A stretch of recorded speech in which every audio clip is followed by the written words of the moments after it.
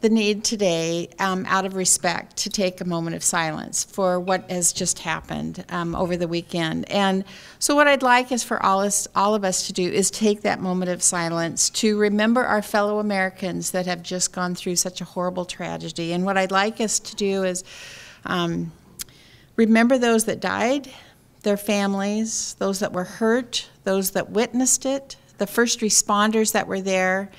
And on top of that, the families, the businesses, and the neighborhoods that were all impacted by what happened to those Americans um, on the other side of the United States. So, if you wouldn't mind, if we could just take a moment of silence, and then we'll start.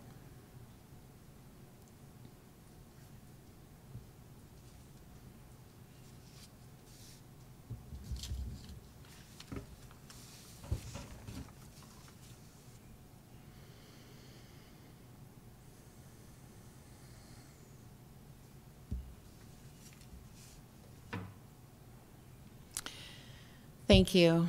Um, as I drove from my office here today, there were flags in downtown Gresham. I have no clue why, but it just charged me up that we would rally on this side of the United States. What is it, Flag Day? Well, it's Flag Day and good for Gresham. But it just moved me that the flags would be out today. So I want to welcome you to the Government Affairs BLT, as I call it, the Business and Leaders Luncheon or Business and Leaders Talk. Thank you for coming out today. We have an amazing topic. I can't wait for us to hear all sides of the topic. But as usual, and as is appropriate, I want to thank the sponsors for um, the sponsors of our event today. Portland General Electric is a presenting sponsor, as well as Riverview Community Bank. Larry, thank you very much much for sponsoring, and thank you to John as well. Our education sponsor is Gresham Barlow School District, and we have the chair of the board here, Carla Piluso. I'm not sure you're representing Gresham today, but thank you for that. Appreciate that sponsorship.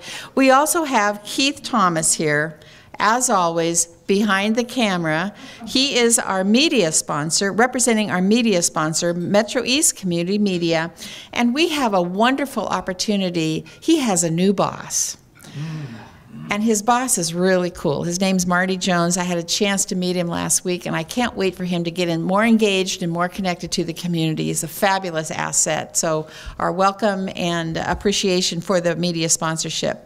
We'd also like to recognize any other elected officials that are here today. So if you've been elected, would you please stand? We've got Councilman Stegman, thank you. Mike, hi, Michael Calcano. Shirley Craddock, thank you very much. Anybody else? A round of applause. They go through a lot. And it's not even election time, and they're still here. We appreciate that. That's a good thing. And now we want to also um, recognize our board members and I just did. So thank you very much.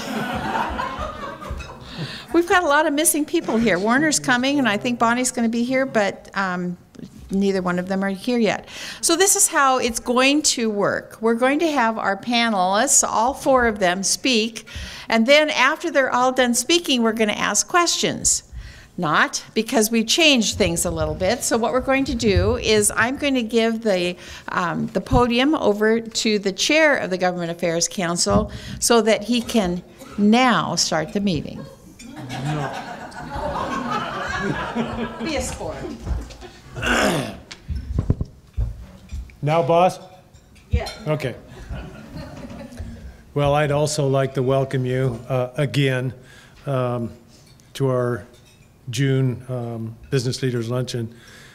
This is a, um, I don't know if interesting is the right word. It's a distressing topic, really, that we're going to discuss today. Uh, and the more I found out about it, the more I've learned about it in, in recent days, the more distressed I became about it. In fact, I became rather outraged about it. So um, today we have uh, a very distinguished and extremely experienced panel to share their thoughts with us on the topic. this issue of sex trafficking is not just someone else's problem, uh, nor can we stereotype the youth or adults involved in this unthinkable crime. As you will hear from our panel, um, not all of whom is here, obviously, uh, today, Portland and Gresham are very desirable locations uh, for this crime, and we need to put a stop to it. The children need to flee from the terror, reclaim their lives if possible, heal, and move forward knowing they are valued and supported. so I hope today becomes somewhat of a catalyst for all of us uh, to get further engaged, more knowledgeable, and more involved in solutions to this problem. Um, it's a pleasure for me to introduce Mel Jett, who's a program director for Harry's Mother. It's another local program that works uh, with the victims of sex trafficking. Portland police officers actually have Harry's Mother's phone number on their business cards and, and on their police monitors because Harry's Mother is an alternative to detention and a safe place to go. Um, thank you, Mel uh, Jett, for being here, and thank you for sharing uh, your perspective on this issue.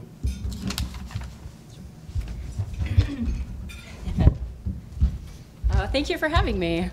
Um, so as Brian said, my name is Mel Jett, and I uh, work with Janus Youth Programs um, and Harry's mother. And I've been with Janus for 14 years.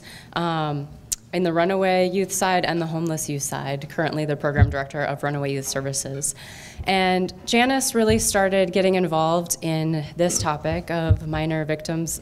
We initially called it minor victims of sex trafficking back in, I want to say 2005, um, under the reception center, which was just described. We're an alternative to juvenile detention. Um, and so we worked really closely with law enforcement, the FBI, um, SARC, the Sexual Assault Resource Center. Tanel was supposed to be here from SARC to talk about that piece. But our first goal when we first started addressing this issue was just to start to identify youth that are being sex trafficked in Portland. And um, fortunately and unfortunately, we knew that there were youth here. Um, and once we started identifying them, uh, we had to start creating services for them. We first started housing them in Harry's Mother. We, our, our longest running program at Harry's Mother is Garfield House. It's a shelter for runaway youth, ages 9 to 17, and our biggest goal is family reunification. Um, so youth can stay there three to five days. We support uh, all the youth that come through with free individual and family counseling offered for the community. Um, and so we started housing the population of CSEC youth. CSEC is the acronym, does everyone know? Uh, commercially sexually exploited children. When we first started working with them, we called them minor victims of sex trafficking. Now it's commercially and sexually exploited children. Uh, so we started housing them in our basic center, in our shelter component, and quickly realized that was a bad idea for many reasons. the first is safety to the general population of the youth that we serve. Um, unfortunately, runaway youth are the most vulnerable to being sex trafficked. The, the national statistic is one in three youth that runs away from home will be approached by an exploiter within 48 hours of leaving home. So our Harry's Mother Services is super important. We've always been important. Our runaway youth shelter. Um, our goal is to, again, be that safe place for youth to turn to instead of um, running into and being solicited by an exploiter that that can lead them into sex trafficking. Um, so we went to the city and the county and we rallied for support and got the whole community involved. And I'm proud to say that Athena House is our shelter for CSEC youth, ages 14 to 21. And we just celebrated five years. And we just got funded for another five years. Uh, it's a seven bed shelter component and it's a long term shelter, so youth can stay there up to 18 months. And we serve male and female survivors of sex trafficking. Um, and we work really closely with the panel here, which is, is, law enforcement, prosecuting attorneys, Sexual Assault Resource Center, and LifeWorks is another key um, partner of ours. So every youth that comes into our program, we refer to a SARC advocate, that Sexual Assault Resource Center, and they um, follow these young people wherever they go. So one thing we know about youth coming out of the life is what we call it, so coming out of sex trafficking, is it's really hard to leave that life. Um, there's a trauma bond that that forms with their exploiter. Um, their exploiter has taken care of them and has become a really um, a father figure, however unhealthy that is, or a boyfriend, or someone that has really taken care of them in not a healthy way. But it's really hard to replace that. Um, so we replace that in as many ways as we can. With our shelter component, we um, also hire survivors. So I'm also really proud to say that in the last three years, we've made a big push to hire survivors so that youth coming out of sex trafficking can see hope on the other side. And over half of our staff at Athena House are survivors, um, which is really exciting. And we connect every youth with a SARC advocate, and we connect them with more intensive trauma counseling through LifeWorks Northwest.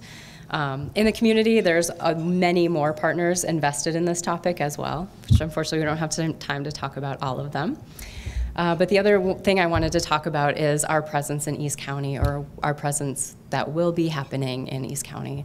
Um, I am hopefully by the end of the week we'll have a lease signed with the Nova Learning Center, the old Lutheran school off 182nd and Stark.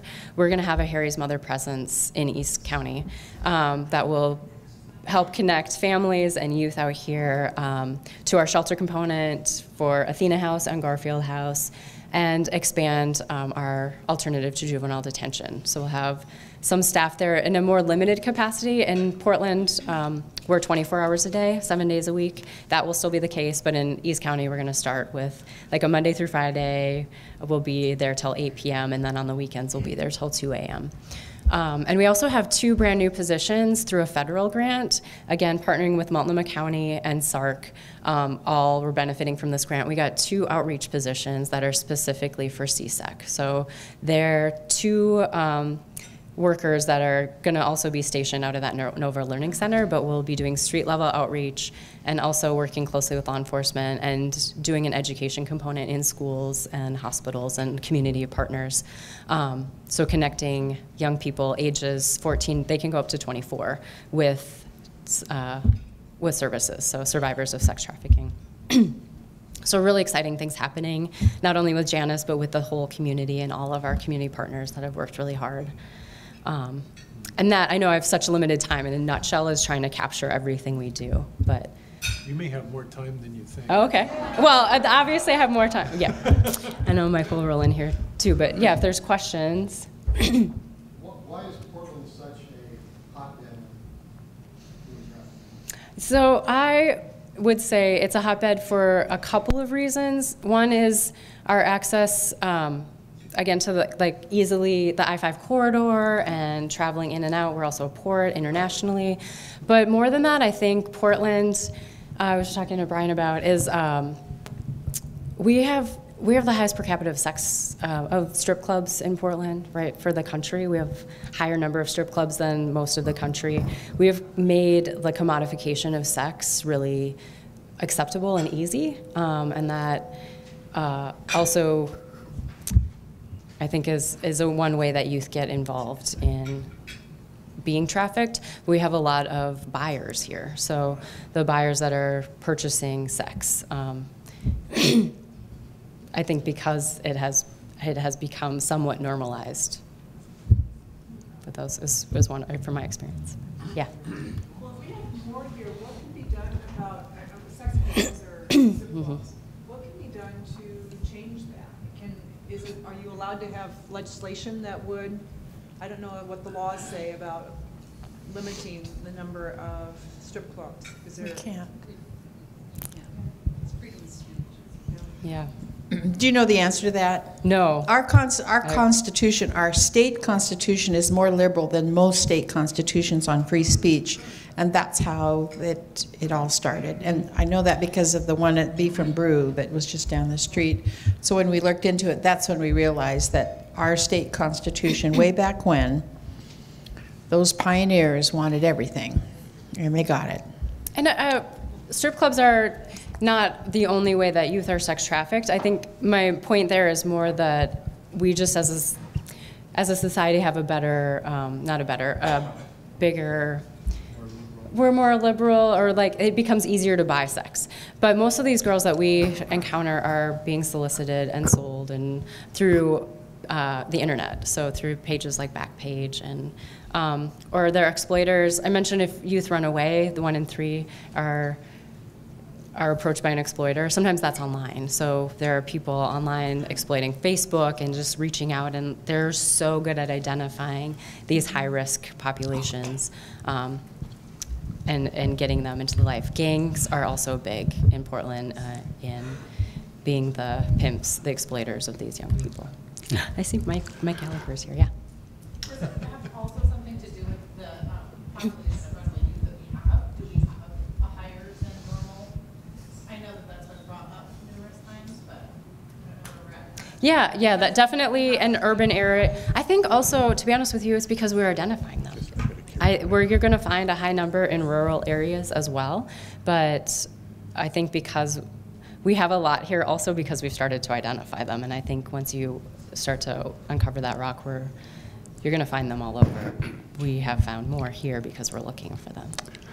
I'm a retired school principal, elementary principal. I'd be interested in your comments on the sex trafficking in the high schools uh, in terms of, uh, well, what can you tell about, about that? Because I'm sure our high school girls are also being approached in different ways.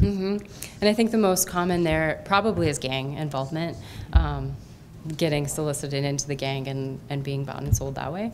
Um, as far as how to, I think the bigger, the bigger question maybe is how to address it. And one thing that I think we would love to see as service providers and this panel is just talking about it more openly um, in the same way that we do a lot of prevention with um, disease or STDs, or you, you start talking about why it's important to wash your hands because you're going to get sick.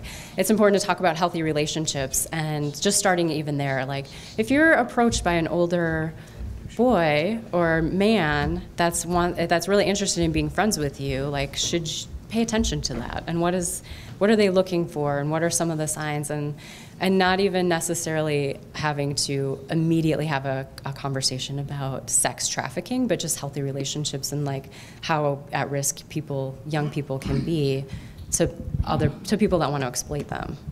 Yeah. So what are we actually talking about with these people, these children? What, what's the process and what, what's going on, I guess? Does Mike want to do that part of it? I mean, Either one, but. Hi, welcome. Thanks for coming, Lights Blazing. Yeah. Uh, so let's walk through a scenario. Um, so a youth leaves home or they've run away. One way they may be approached is in person. And uh, a gentleman, a young man might say, Hey, baby, you look really, you're looking good. Where, what are you doing out here all by yourself? And they are start to like give them compliments. Um, they're telling them how beautiful they are. They're, they're filling a need that they haven't gotten at home. So they're not getting love and attention at home. And this older gentleman generally comes up and starts to give them attention, um, becomes their boyfriend, and right, and then they they start having sex with their boyfriend. Um, And then that's not enough. The boyfriend is like, "Hey, you need to help us put food on the table. I'm going to take care of you. You help take care of us. Now I want you to have friend, sex with my friend here, and my not friend here." And like suddenly, this um, what started as just a, it felt like a relationship turns into a, a way of being exploited that the young person has slowly been groomed into. Does that can I answer your question? And then once they're in that, they're um, this trauma bond is so strong, and exploiters are so good at filling that role that it's a cycle of um, power and coercion and. Um, so it can start as just, you're going to do this for me because you love me, and then, no, you're going to do this for me because I'm going to beat you up, or there's serious harm and danger to the youth for leaving that situation. Um, I think I was at a meeting recently where uh, it was best described as, I think we're with CSEC right now, um, at sex trafficking, where we were with DV 10 years ago, and kind of understanding that cycle of how hard it is for victims to get out of that cycle. Um, that kind of put it into context for me. I don't know if that helps at all. Great, thank Bye. you.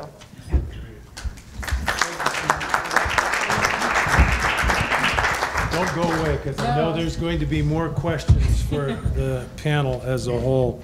So, we're back in form again, and um, it's a pleasure to introduce the other two panelists here today.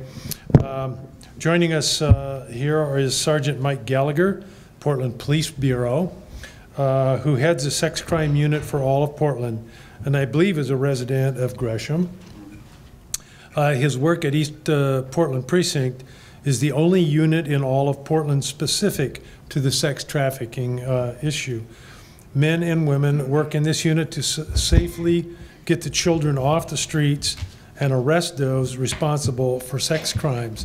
And I'll be very anxious to hear more about that process. Also, we have with us, um, to my far right, Multnomah Multnomah County Deputy District Attorney, District Attorney uh, Glen, who goes by JR, I understand it, uh, Ujifusa, and don't ask me to spell that. Uh, He prosecutes the sex trafficking cases. I'm also told that he did an amazing job at the uh, Door to Grace fundraiser this spring, uh, bringing faces uh, and facts to the audience so that they could understand this better. Door to Grace is an organization which uh, works with the victims of sex trafficking. So, uh, back on schedule, it's my pleasure to first introduce Sergeant Mike Gallagher from the Portland Police Bureau. I think we're to speak together because we work together as a team. Um, I'm actually an officer. I wish I got the sergeant's pay, but I've been, been doing this long enough. I probably should be a sergeant. Um, as I said, I'm Mike Gallagher with the Portland Police Bureau. I've been with Portland for almost 25 years now. And pretty much my whole career, I've been involved in some sort of prostitution investigations. I worked 18 years on the street, but I worked almost all of the missions, the undercover missions that we put on. And about seven years ago, um, I joined the sex trafficking unit. It was called the Prostitution Coordination Team, which was formed when JR, his DA's office, partnered with us. And our focus at that time was basically livability issues, getting the prostitutes who were on 82nd Avenue, Sandy Boulevard, off the streets. And we sort of had to get creative on how to do that because we figured by arresting them time and time again wasn't working. We couldn't arrest our way out of this problem. Our focus was on prostitution, the livability issues. And so our focus has changed into helping the victims, uh, working with minors, uh, providing them resources to get out of the street, and, and arresting and holding accountable the buyers, the Johns that are out there making these purchases and, and fueling this demand for prostitution. So in a nutshell, that's sort of where we go, and I'll let him, JR, introduce himself, and we'll talk a little bit more. So thanks for having me. I'm sorry I'm late. Uh, part of the non-traditional way in which we approach these cases means that sometimes I don't wear a suit. So I apologize for not being in a suit. I actually ran from meeting a victim who's in a shelter right now and speaking with her for a detective with a detective. And if I wear a suit to some of those meetings, I think it's really intimidated and they feel like I'm just part of the man. And so uh, very often, part of this non-traditional is being able to make cases and being flexible. So we are in the same, like he said, in the same precinct, and we. I don't work nine to five. Mike doesn't work nine to five. We work whenever these cases are happening and whenever we're called out. So I apologize for being late to that. She finally, after four interviews, opened up about what had happened, and uh, the time slipped away a little bit. So we'll talk a little bit more about that. But uh, seven, fi- eight years ago, uh, I was out at East Precinct doing livability issues, and we, as Mike said, realized that human trafficking isn't just prostitution. And in fact, prostitution is the most visible crime.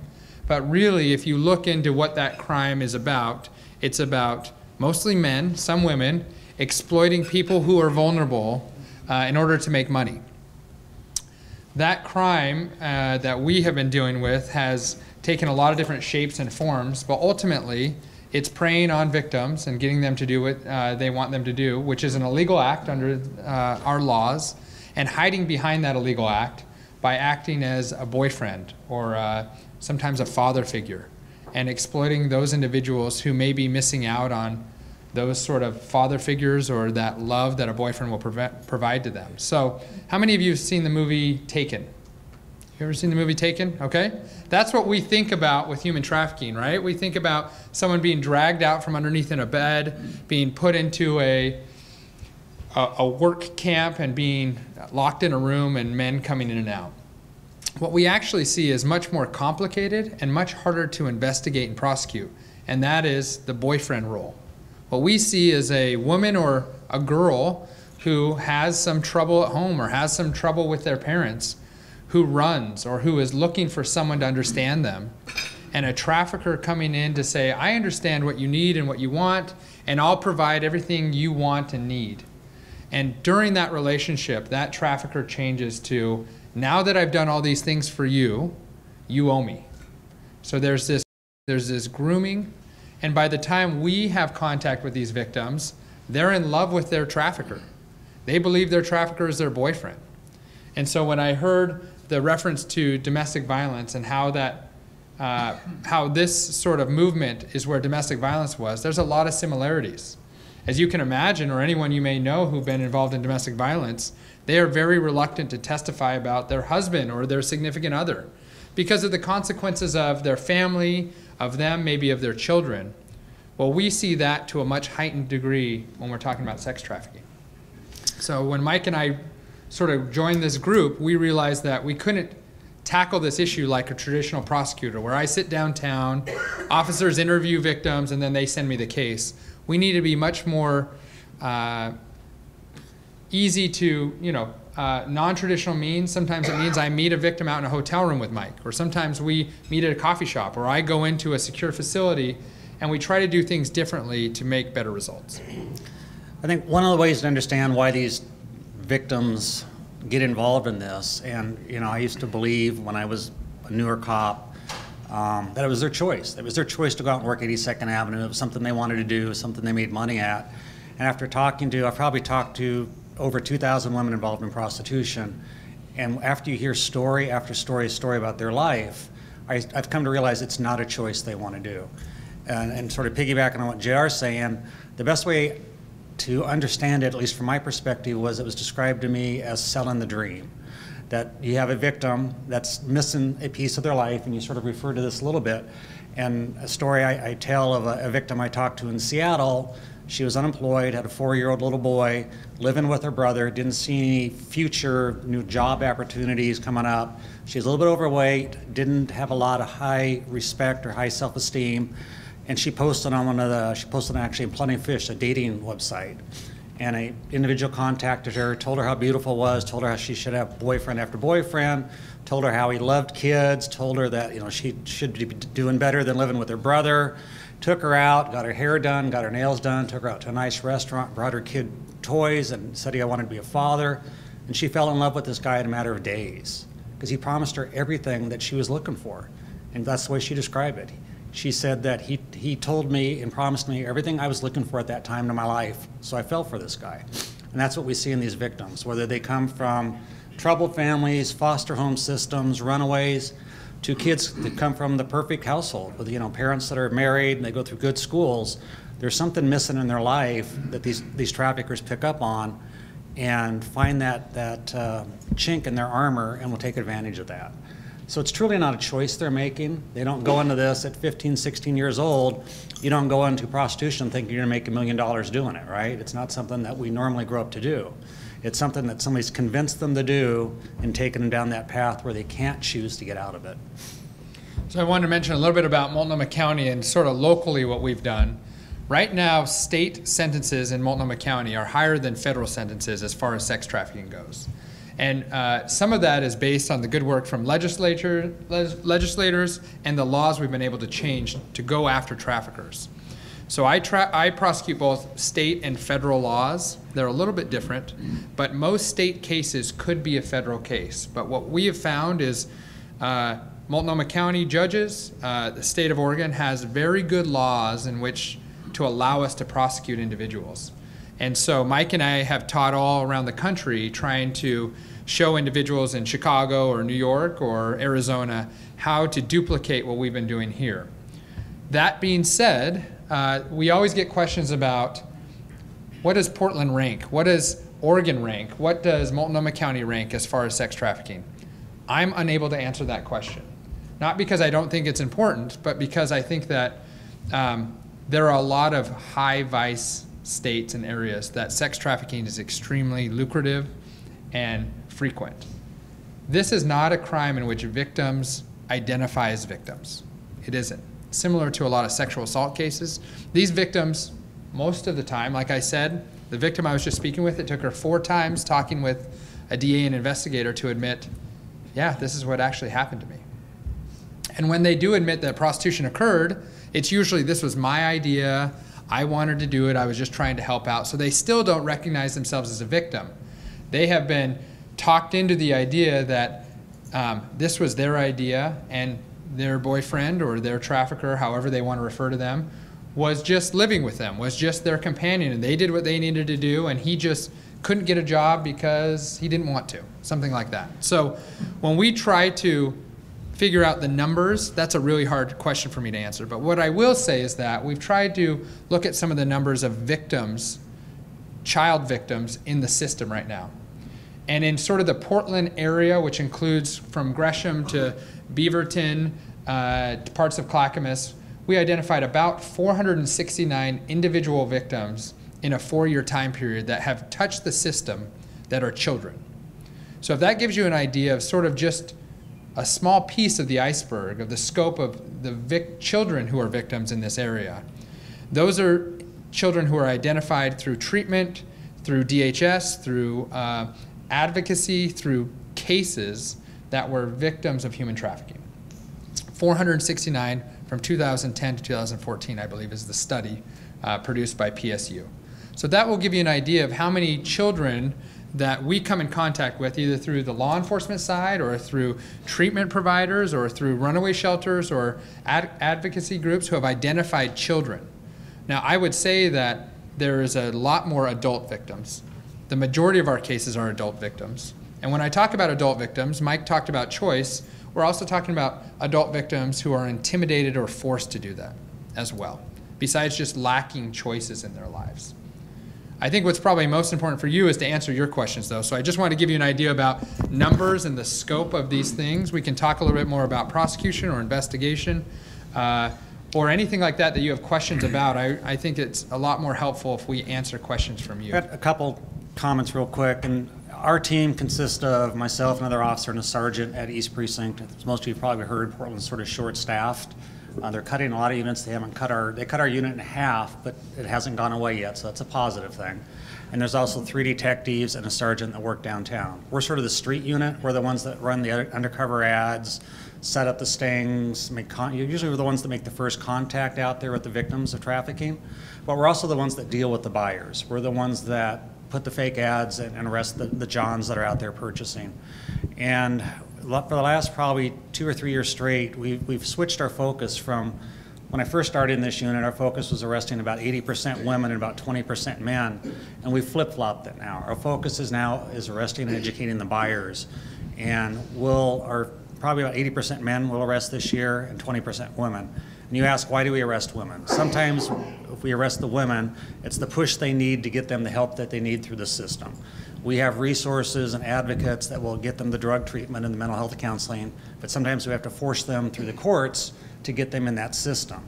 Um, so that's one of the ways we do that and use that as a tool to help them understand that this is really not a choice that they're making to stay in this lifestyle. And then we provide a, a, John school, a buyer school for the man that they have to pay to go to, and part of that money goes to help the victims, but it gives them a class on what prostitution truly looks like, sort of the down and dirty prostitution education 101. And we get some really good results and comments at the end of that class from what their perception of what prostitution is at the beginning of the class to what it is at the end of the class. And we had a lot of comments like, I didn't realize I'll never do this again. I wish I'd known this before, you know, I made that date, those types of things. Uh, men who purchase minors aren't afforded that class. They don't have that choice. They get JR and they get to go to jail. So. Good. What are we teaching our children to avoid this that already know it all? Yeah, that's a that's a great question. I have four kids, a daughter who's 12 right now. My youngest victim was 12 in one of my cases. I think that prevention is a huge piece of this puzzle. Not prevention at seniors in high school, I think that's way too late, but I think prevention in elementary and junior high about what is a healthy relationship, how we treat each other. And that's a great question. And there's a there's a couple different groups that are working into getting into schools and other areas to teach these kids about what that means because one of the things we find with traffickers is that they have some sort of familiar relationship with the crimes of prostitution or trafficking. They either had a mother who was a victim, a dad who was a trafficker, an uncle who was involved. And so this, not always, but it's an indicator that it passes down from generation to generation because it's known by them this is how this is a way to make money. This is a way to do those types of things. And so we need to do that prevention piece because I hate to say it, but I think every high school in the area we've had victims out of, whether it's Lake Oswego High School or Rex Putnam or Lincoln or Grant or wherever, Gresham, there, we have had victims in every high school. So it's not just a poverty issue, it's not just a homeless issue, it's not just a runaway issue. It's sort of a self esteem issue and an issue about um, wanting to be loved or be treated a certain way that sort of transcends socioeconomic boundaries. So I- I'm working with a group right now, Northwest Family Services, that's putting together curriculum for middle-aged schools. I think this past year that they've taught close to two to 3,000 kids a curriculum aimed at sort of understanding what trafficking looks like, how to, how to report it, you know, what to look for, the warning signs. There's two or three other groups that, um, that are in the Portland area. Sexual Assault Resource Center has a curriculum they're doing in some of the Portland schools. Uh, Libby Spears has a curriculum that's uh, high school age curriculum. So, like you said, we're starting to get them to understand, and, and that middle school I think is huge to get somebody that's you know 12, 13 year old. That's sort of that prime age for those recruiters to step in and, and make those promises. Of the uh, pimps that are prosecuted and uh, sent to jail, I'm wondering what's the average uh, term? And also, have there been any studies once they come out? Do they go back to their old uh, habits or do they move along into something else? And if so, what might that be? Yeah, those are all fantastic questions. I, can't give you an average, but I'll give you a range. So in Multnomah County, we have prosecuted individuals who have served life without the possibility of parole in prison for their crimes. Uh, I would say if you have multiple victims and you're a trafficker, you're looking at between 15 and 35 years in prison. And that just happens to be how many victims are willing to testify, the strength of the evidence. But it is a long sentence. In Oregon, the main charge we use is compelling prostitution. It's about Measure 11, 70 month mandatory minimum sentence. So that gives me the tools that if I have four victims that have been engaged or forced to engage in prostitution for weeks, some of those charges can stack upon each other. That's the nice thing about Oregon law. We have great laws when it comes to con- consecutive sentences versus concurrent sentences. In the federal law, it's a higher mandatory minimum. It's between 10 and 15 years, depending on the facts, but there is no consecutive sentencing. And so it's a different sort of uh, sentencing guideline. Your second question, right? Studies about traffickers coming out. I failed to mention, I usually put this out here first because I want you to understand sort of the, the pull for trafficking. On any given day, on one web page that we know is involved in advertising prostitution, there's between 200 and 400 ads of different women. Each one of those ads, based on when we do an undercover operation, can generate between 50 and 150 calls from men. So just multiply that for one day.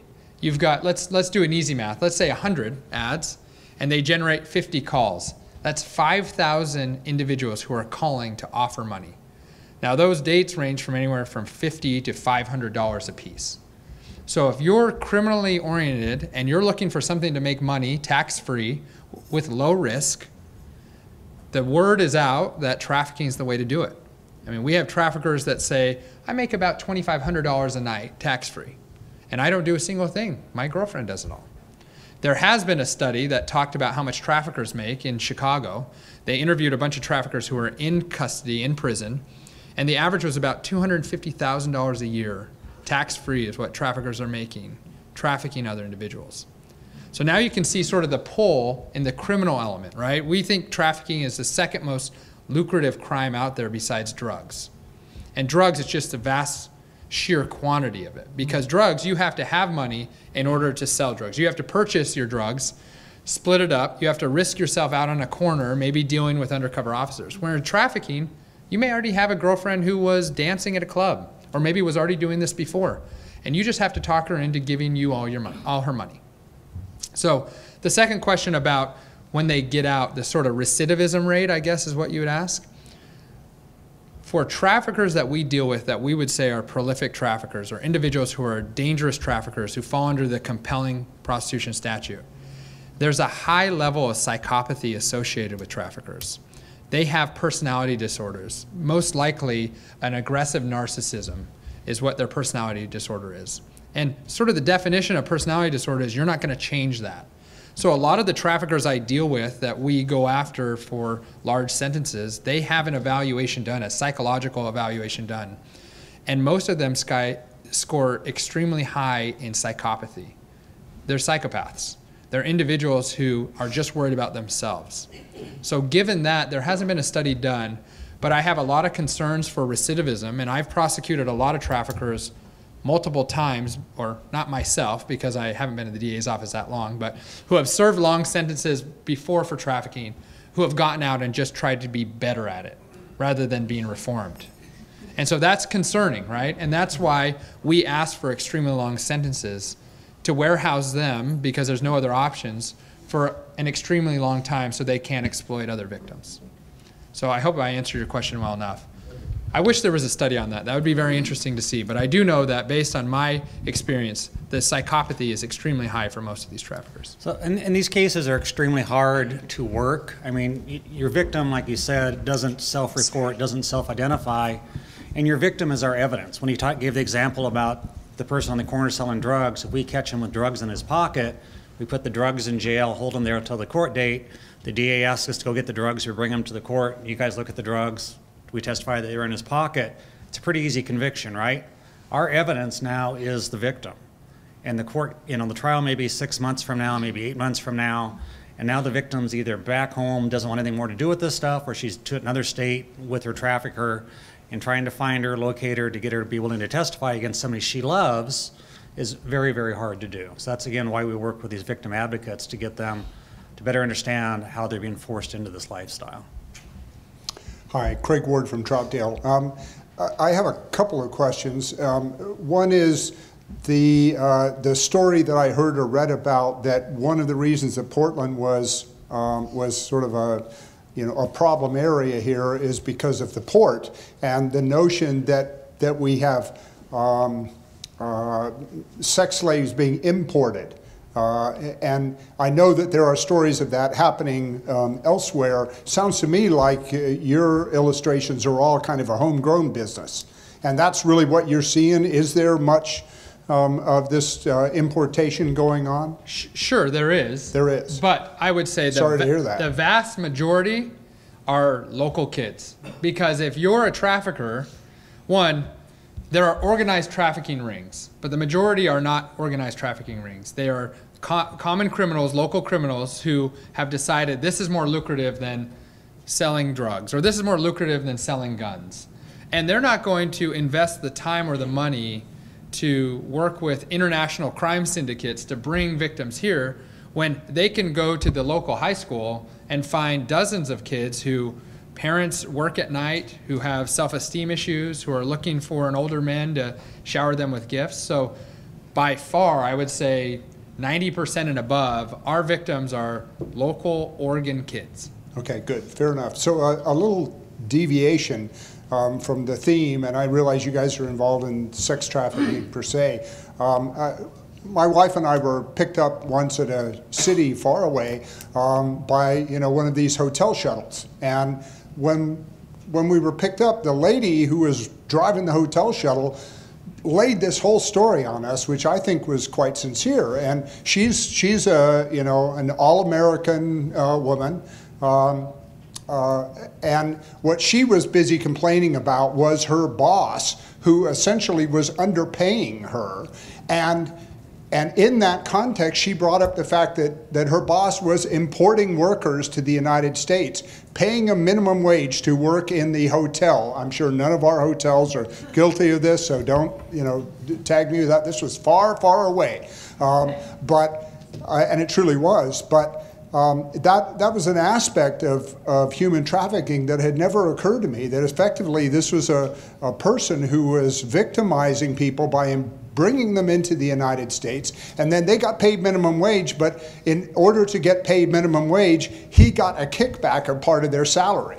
So they were, and then they, he, he put them up in a hotel room. So he had, you know, six people in a hotel room, and, um, and that's, that's, you know, that's how he, he enslaved these people. They were here under work visas or whatever. They couldn't make enough money to get by. They were all sort of, you know, truly enslaved. And that was how they were making the money to maintain their hotels. So do you are you aware of that kind of pattern around? You are. I- So that's called I labor keep asking, I keep hoping you say no. Sure, sure. That's that's called labor trafficking, and there is a a group that uh, works on labor trafficking as well. I'm part of that group. There is labor trafficking, and then there is sex trafficking. There's also what I came to know based on I have adopted brother from Rwanda. Is that there's actually sports trafficking. People who are trafficked for who are athletes from other countries. Whether you're my brother was 6'11 from Rwanda, he got trafficked into this country to play basketball. They do the same thing in the Dominican Republic or other places for baseball players where they have people who are exploiting them. But that's called labor trafficking. And a lot of times we see it in the hotel business, the restaurant business, the agricultural business. Uh, some of the dynamics are the same, right? Because they're exploiting people who have a vulnerability. Many are very different, though, because um, they are not usually homegrown victims. They're victims who are coming in from across the border that uh, either are here illegally or have some other vulnerability that they're trying to work off, right? Almost like a debt bondage. But yes, we are aware of those. There are laws that are written for that purpose, and there's actually a work work group that includes the FBI and Homeland Security that deal with those issues as well. So yes, that is that is here as well.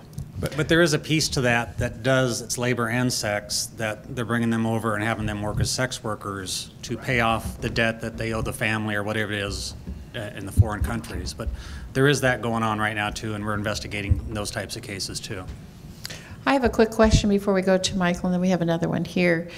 If you, if you're in law enforcement and you write tickets, those tickets all add up. If you're a law enforcement and you don't write tickets, then it looks like nothing is being done. Are we in an area where you guys are aggressive and, and we have a reputation of having a high number of sex trafficking because we're actually actively looking for them compared to other communities that aren't? Or are we truly in the situation that was described earlier, that it's a high area? I think it's a little bit of both. You're right. If if you bring attention to the issue, it looks like you have a bigger issue. I think it's a little bit of both. I think we've been working on this for years and years, and so we have some numbers to back up what we're talking about. I also think that when I just described the amount of demand, how many men are out there seeking sex, we have a huge issue as well. And, you know, for me, when I say huge issue, a minor being trafficked that gentlemen around this city are paying when they walk into a hotel room and see a 12 year old and they're okay with it, one of them is a huge issue for me. But I think there are a lot of areas that close their eyes to this that they have a huge issue as well.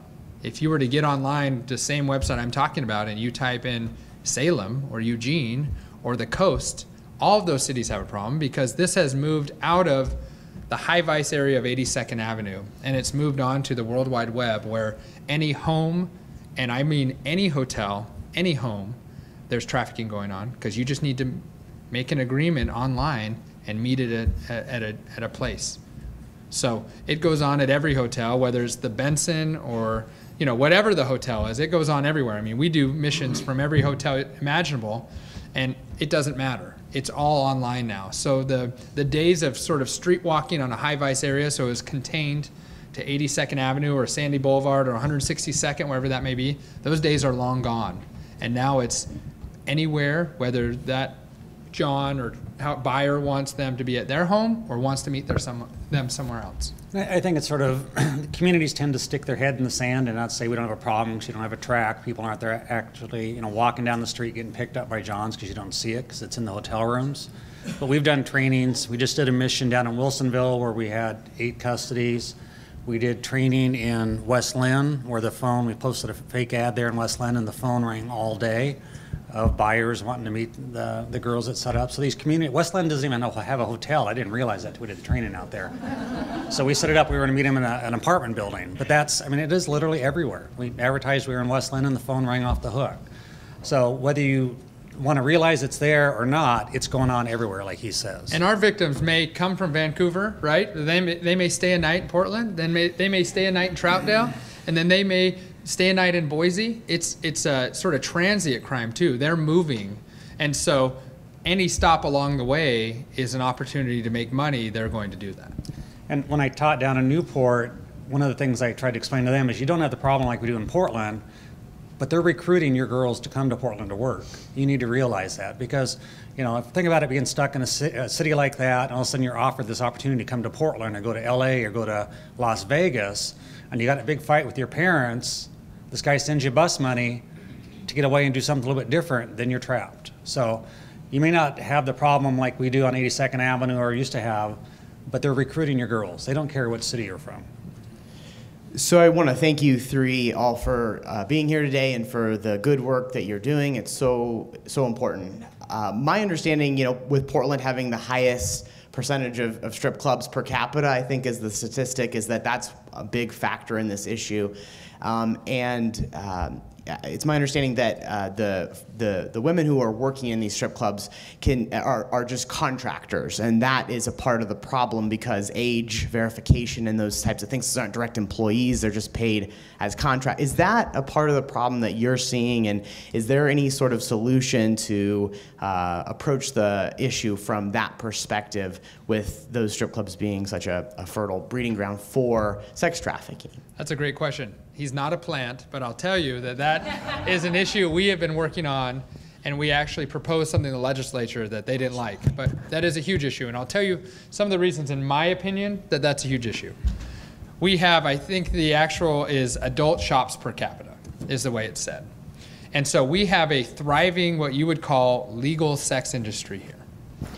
That does two things. That is a breeding ground for grooming victims. If I have a victim that I'm grooming, maybe I'll start her out dancing. And then I can say, see, you made $100 tonight. You can make 10 times that. You just need to do the next step.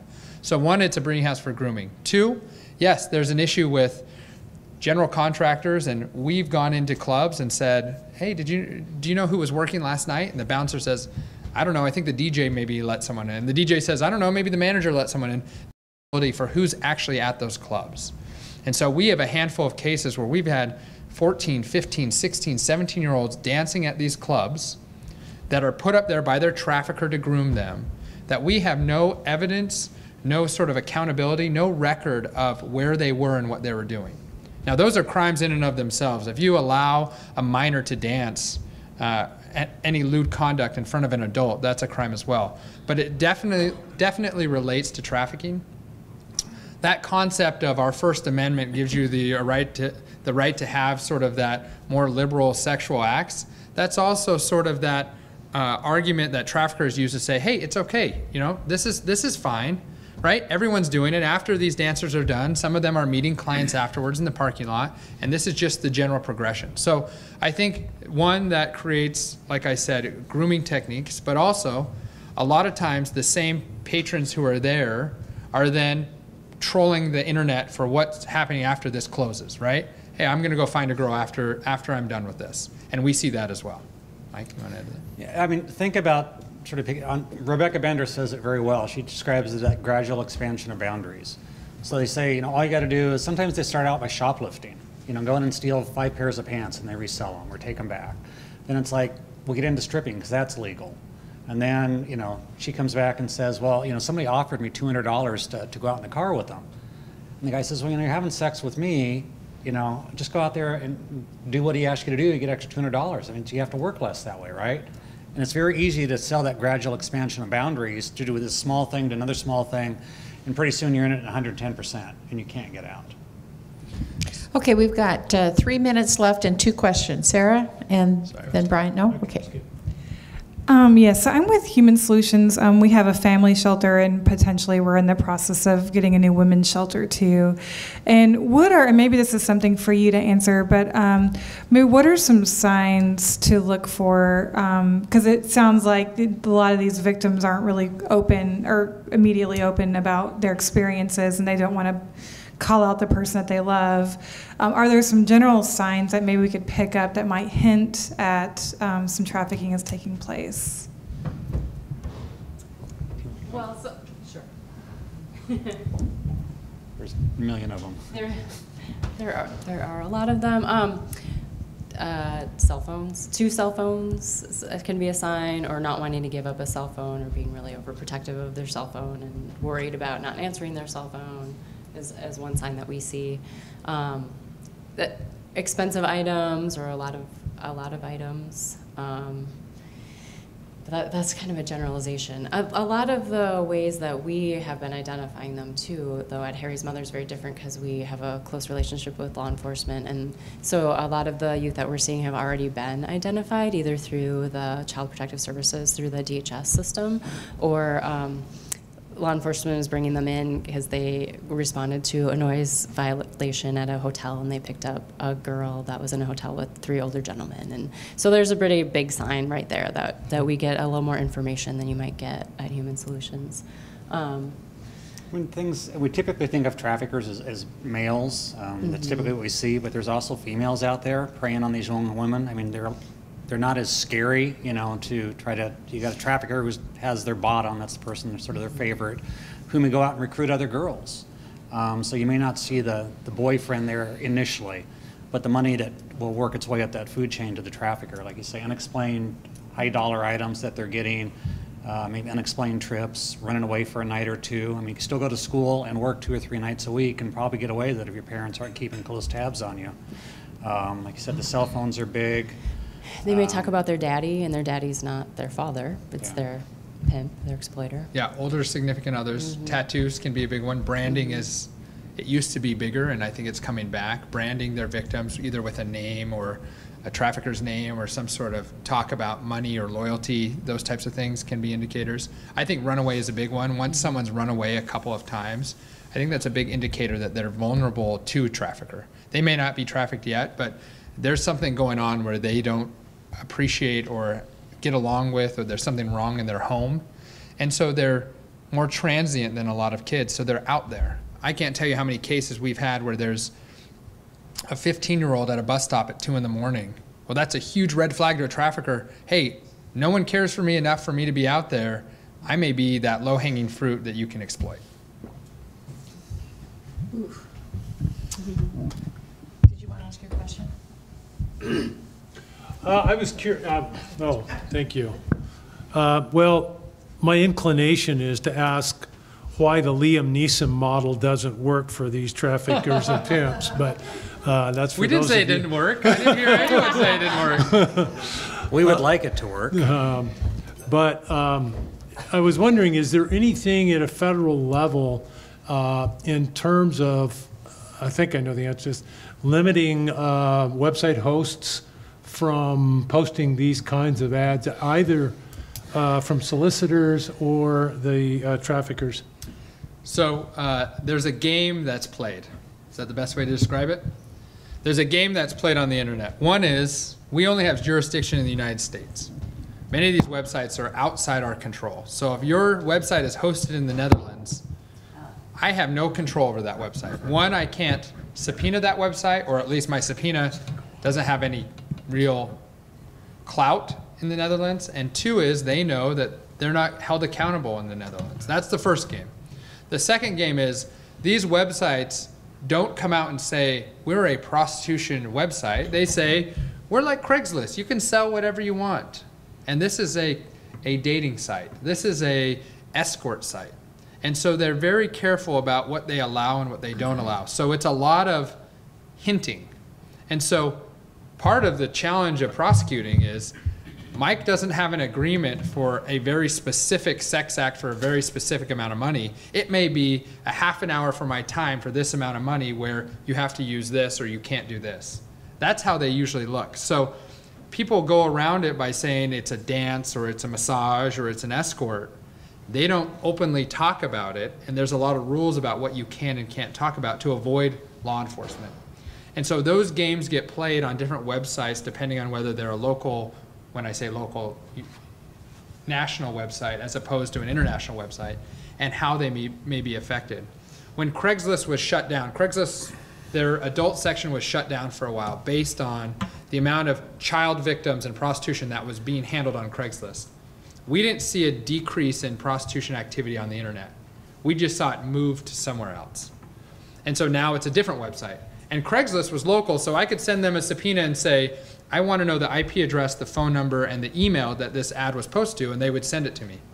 Well, some of those ads have moved on to international websites where when I say I'd like the phone number, the IP address, and the, and the email, that I never get a response. And so mm-hmm.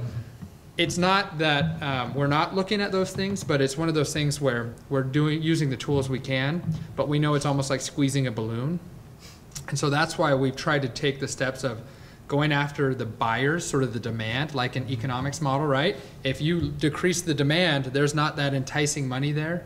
And also uh, doing sort of the public safety of trying to keep victims, trying to change their trajectory, trying to get them out of the life while we aggressively prosecute their traffickers so that it sends a message to other traffickers the risk isn't worth it. And these websites make, they charge for the ads, they make millions and millions of dollars a month. Uh, one of the particular websites got a lot of pressure to, by uh, Chicago, Cook County to not take MasterCard Visa to pay for, for the traffickers and the escorts to pay for these ads. And these credit card companies agreed to do it, and they basically agreed that they would not accept Visa, MasterCard, Discover Card, all those cards, sort of like the online gambling sites that were out there. What they did is they sort of revamped their system. Now they're using Bitcoin and using other ways to get money back into it, so they're not using the credit card. So they're back in business again, back making millions of dollars. Again, they're figuring out workarounds to what, you know, when pressure is put on them. So instead of shutting down like Craigslist did, and it got moved someplace else, they just sort of reinvented the wheel how they can make money a different way. But, uh, and they're, they're doing very well, still making lots of money.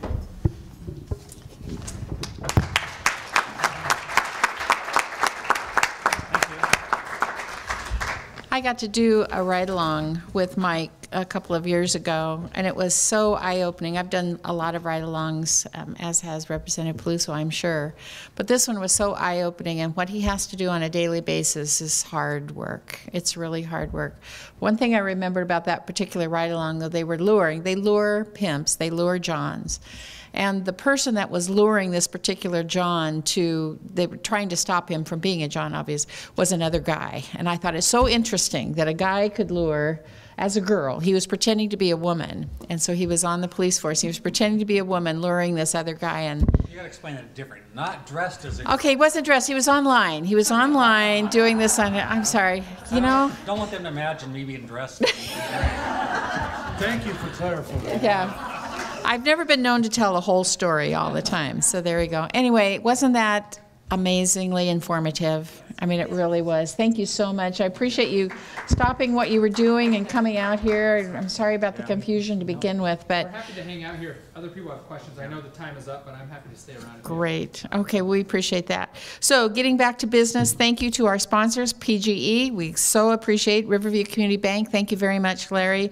Gresham Barlow School District, Metro East Community Media. The flyers are out on the table. They could have one on each table, but out as you go. The flyers are here that tell when this particular um, government affairs luncheon is going to be rebroadcast. So be sure and pick that up. If you thought that this was amazing, you want to hear it again or show a friend, be sure and pick this up. Uh, make that happen. Um, our next month, BLT is with the Secretary of State candidates. So I hope that you will be here. And if you have time, take a minute to fill out the, um, the evaluation form. We appreciate that. And let's give our three panelists another round of applause. And thank you for coming today.